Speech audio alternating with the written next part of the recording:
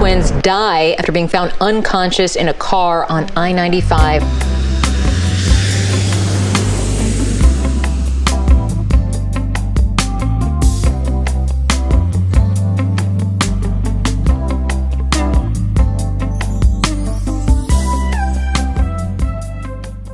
Hello, everybody. I am RJ Smith, and this is Crazy News Reacts. Welcome aboard. Today, I've got a really weird story about a mother who jumped off a bridge after killing her twins. It was around 2 in the morning when there was a 911 call about a vehicle on the I 95 northbound ramp to the Florida Turnpike in 826. These are both very popular highways. The fact that you see a car sitting there like that wouldn't necessarily get your attention down in Miami. Let's go on. Suzette Morant is horrified that these three year old twins, a boy and a girl, lost their lives when authorities say they were with this woman, Shirlene Alseem, who Morant and family members say was their mother. To be honest with you, she's a good mother because I know she has an older son. Our older son is about 16 or 18 years old.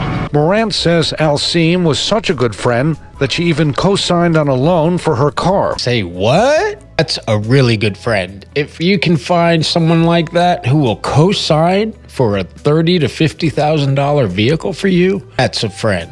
She's been a good mother, and that's the only reason why I got her the car because I wanted those kids to have get around safe and reliable. Now somebody I know will do nothing like that. That's impossible for her. She's not that kind of person, so it's just so mind-boggling right now. The female on scene, who was the driver of the vehicle, uh, she was driving the vehicle where these juveniles were located, and that uh, adult female uh, went over the railing to the on ramp onto the railroad tracks, which is a considerable distance considerable distance, I would say. Now, the big mystery is did she jump off or was she pushed? Was there perhaps someone else in the car? The mother was rushed to Aventura Hospital. The three year old twins did not survive.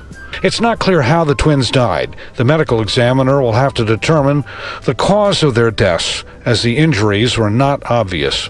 That's very interesting in itself, right? Don't you guys think? Two babies, in their car seats, dead, no physical signs of any trauma, and their mother down on the railroad tracks, deceased. Jeez, sometimes you just don't want to report this stuff, but we gotta know. Have a good night. I'll see you right back here tomorrow. I'm RJ Smith.